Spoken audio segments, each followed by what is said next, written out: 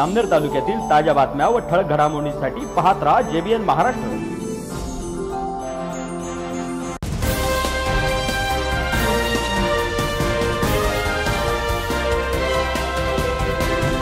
नमस्कार मी मिनल चौधरी. पाहूया काही ठळक वृत्त. जामनेर तालुक्यातील पिंपळगाव खुर्द येथील शेतकरी विलास रामदास पाटील यांच्या शेतामधील फार्म हाऊसच्या शेडला बांधावरून अचानक आग लागल्याने पूर्ण फार्म हाऊस जळाले आहे. या फार्म हाऊसमधील रब्बी हंगामाचे कडधान्य ज्वारी मका व तूर बैलांचा चारा ट्रॅक्टरच्या ट्रॉलीचे एक चाक जळून खाक झाले आहे. तसेच शेती उपयोगी यंत्रसामुग्री देखील पूर्णपणे उद्ध्वस्त झाली आहे. सुदैवाने या आगीत कोणतीही जीवितहानी झाली नसून या फार्म हाऊसमध्ये जी बैलं बांधण्यात आली होती त्यांना वसंत पाटील यांनी आपला जीव धोक्यात घालून बैलांचे दावे कापून त्यांची त्या आगीतून सुटका केली आहे. ही माहिती गावात पसरताच गावातील नागरिकांनी घटनास्थळी धाव घेत आग विझवण्याचा प्रयत्न केला. मोठ्या अथक प्रयत्नांती ही आग विझवण्यात आली आहे तरी महसूल विभागाने पंचनामे करून तातडीने मदत करावी अशी मागणी शेतकरी विलास पाटील करीत आहेत.